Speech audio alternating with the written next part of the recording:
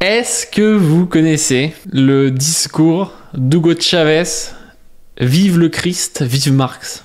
Je sais pas si vous le connaissez, on va se le mater.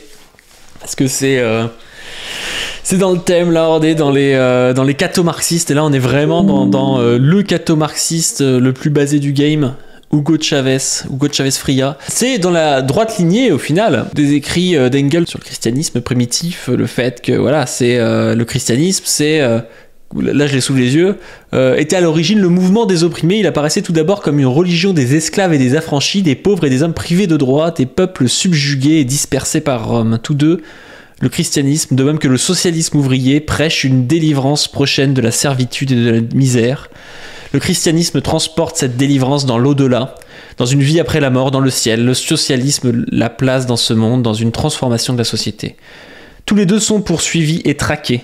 Leurs adhérents sont proscrits et soumis à des lois d'exception, les uns comme ennemis du genre humain, les autres comme ennemis du gouvernement, de la religion, de la famille et de l'ordre social.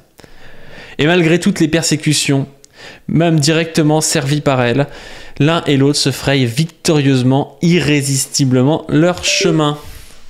Donc on va partir sur ça. Je vous invite à regarder votre écran parce que c'est pas euh, juste écoutable, c'est euh, c'est en espagnol évidemment. Donc, euh, et comme je ne vais pas traduire l'espagnol et qu'il y a les traductions en sous-titres, vous pouvez mater.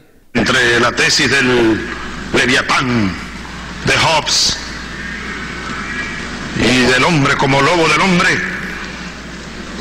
preferimos la de Cristo, el gran Cristo, el hombre, la esperanza del hombre. C'est vrai que le son est de gauche, hein, le, le chat a raison. la especie humana. Y reivindico al Cristo revolucionario, no al Cristo de los burgueses que rezan como cantó Ali Primera cuando van a bombardear a los niños del Vietnam o a los niños de Irak o a los niños de Afganistán. El verdadero Cristo, el único Cristo, el redentor revolucionario, el Cristo de los pueblos,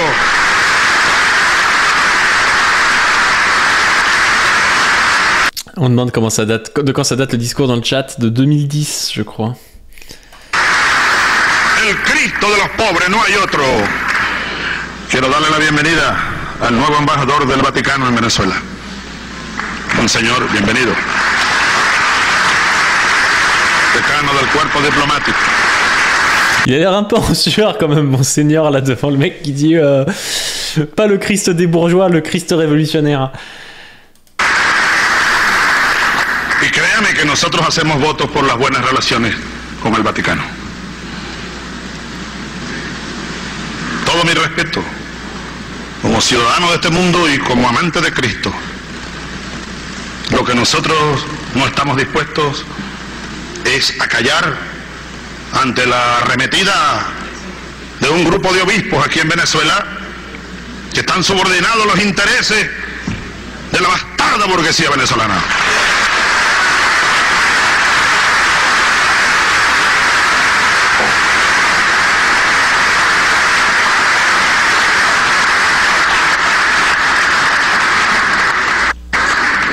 Yo le recomiendo muy respetuosamente que haga un exorcismo allá en la sede de, en la sede de, ¿cómo se llama? De la anunciatura, señor.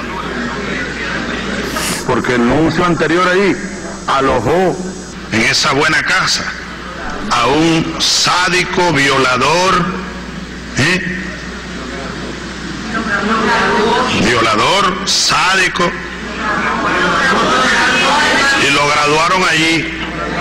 Hicieron una misa incluso. Créame, si usted conoce un buen exorcista, llámelo, monseñor, para que haga algún trabajo allí. ¿No? Es lamentable, ¿verdad? Eso es muy lamentable. ¿eh? Oye, uno como católico, cristiano, a mí me da un gran dolor eso. Un gran dolor. Esta revolución, así lo digo como cristiano, es profundamente cristiana. ¡Viva Cristo el Redentor!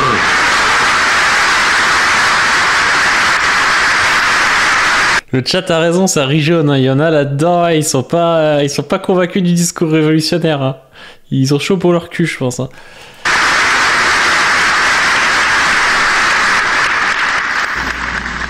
Y por cierto que en plena, en plena reunión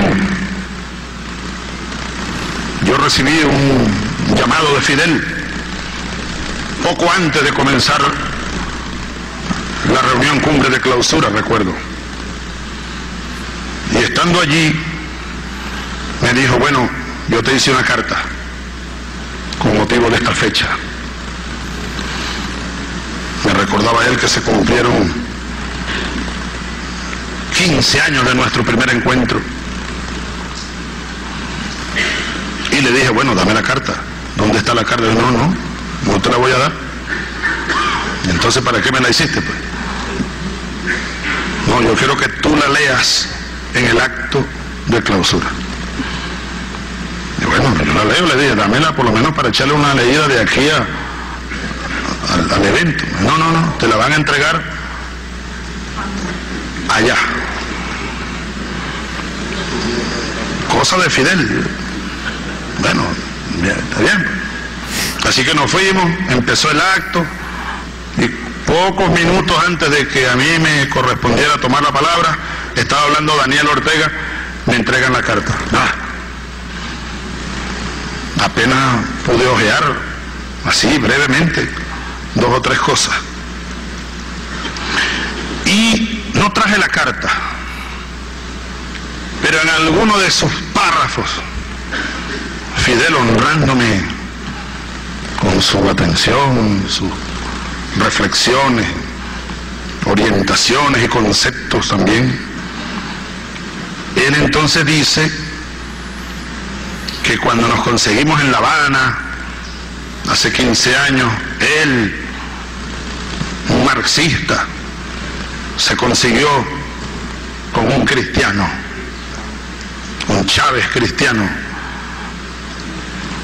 Yo me detuve un ratito ahí, porque yo no había leído la carta. Como ya le dije, pues. Y entonces dije, bueno, yo además de cristiano, yo no soy solo cristiano. Yo soy un revolucionario y también soy marxista. Ah, les fameux cathos marxistes. Jean Robin avait raison. C'est des cathos marxistes en fait. Ça existe.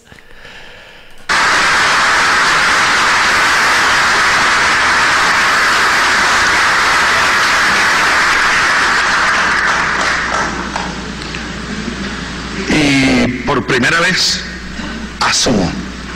Y lo asumo. Yo cuando asumo, asumo. Asumo el marxismo.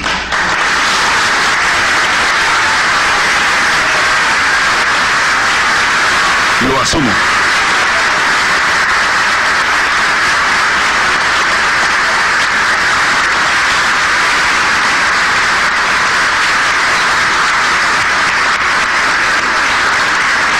Como asumo el cristianismo.